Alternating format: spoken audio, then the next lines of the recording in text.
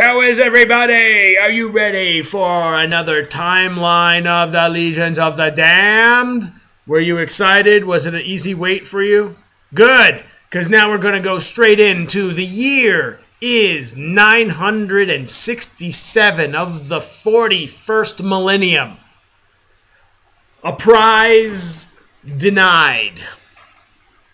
Dark Eldar, from the Kabal of the Black Heart, burst from the webway to launch a real space slave raid on the hapless population of Thursuis.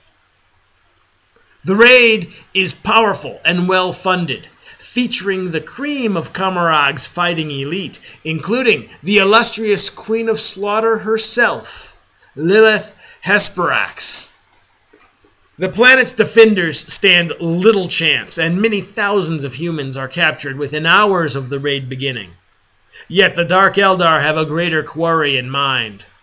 A large Black Templar fleet is rearming in close proximity to the Thursius system and swiftly responds to the planet's cries for aid.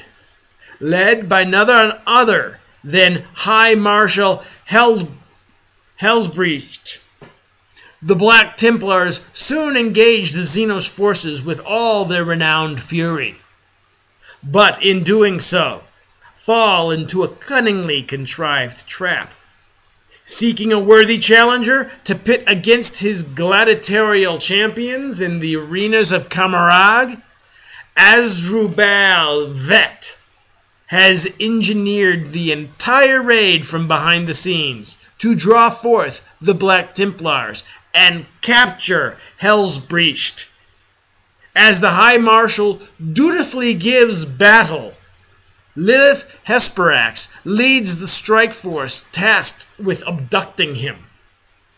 Despite bloodily repulsing the Dark Eldar slavers, Hellsbrecht is finally laid low by the mercurial skill of Commorragh's gladiatorial queen. Yet, even as Hellsbrecht's superhuman constitution succumbs to the fiendishly envenomed blades of his would be captor, his last vision before he slips into unconsciousness is of death and fire. And the last sounds he hears are roaring flames and alien screams. Upon his recovery, Hellsbrecht is informed by his ashamed sword brethren of his redemption at the hands of a ghostly brotherhood, who arrived as if from nowhere to drive the Dark Eldar from the field. Even the blades of Lilith Hesperax herself could find no purchase on the spectral forms of Hellsbrecht's saviors and she was forced to retreat without her prize or share the fate of her kin, that of being slaughtered by the Legion of the Damned.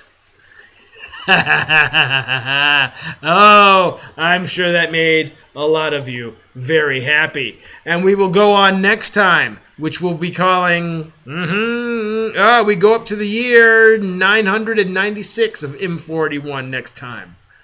The Kohler cost.